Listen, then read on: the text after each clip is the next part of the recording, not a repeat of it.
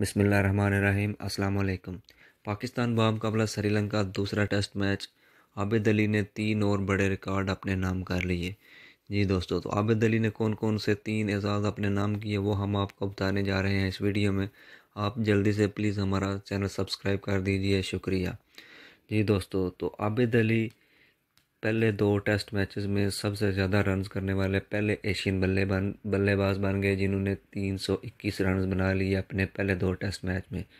اور اس کے ساتھ وہ ورلڈ میں چوتھے نمبر پہ سب سے زیادہ رنز کرنے والے بیٹسمین بن گئے اپنے پہلے دو ٹیسٹ میچ میں۔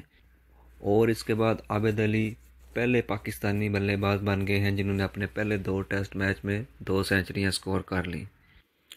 جی دوستو، تو یہ کچھ کارنامے عابد علی کے پہلے دو ہی میچز میں عابد علی، آپ کی نظر میں کیسے بیٹس مین ہیں؟ آپ کو کیسے لگتے ہیں؟